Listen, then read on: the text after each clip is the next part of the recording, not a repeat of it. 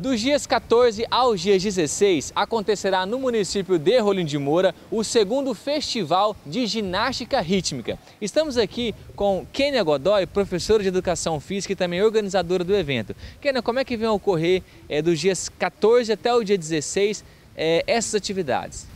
Certo, nós estamos é, com três dias programado. No dia 14 é a competição interna das nossas ginastas do CTDE, certo? Então elas estão aí treinando já há algum tempo para fazer essa competição nas categorias Mirim, de 6 a 8 anos, na categoria pré-infantil, de 9 e 10 anos, na categoria infantil, 11 e 12 e na categoria juvenil, 13, 14 e 15 anos.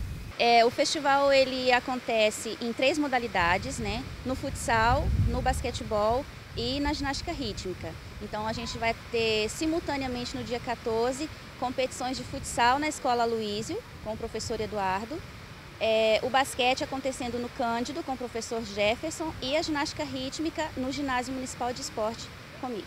Eu gostaria de convidar toda a população de Rolim de Moura vai estar prestigiando as nossas atletas no Ginásio Municipal dia 14, a partir das 18 horas, entrada franca. Elas vão estar participando de uma competição interna na modalidade de ginástica rítmica, que é um esporte olímpico. É bem novo ainda aqui no nosso município, mas a gente gostaria dessa, desse prestígio da população.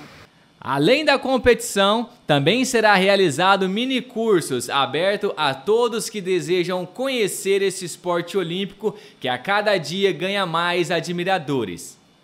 No dia 15 e 16, na Escola Ulisses Guimarães, manhã e tarde, nós vamos estar promovendo os mini cursos de ginástica rítmica com o professor Ednei Andrade de Vilena.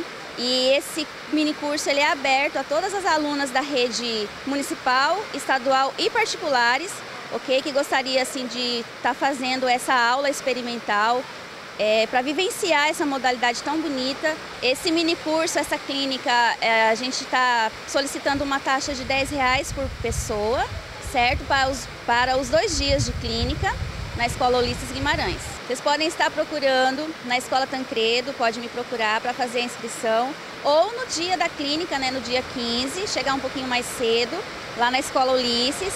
Estaremos iniciando a partir das 7h30, então chega um pouquinho mais cedo, nós vamos estar lá já para receber todas vocês com muito carinho, para estar realizando esses mini cursos de ginástica rítmica.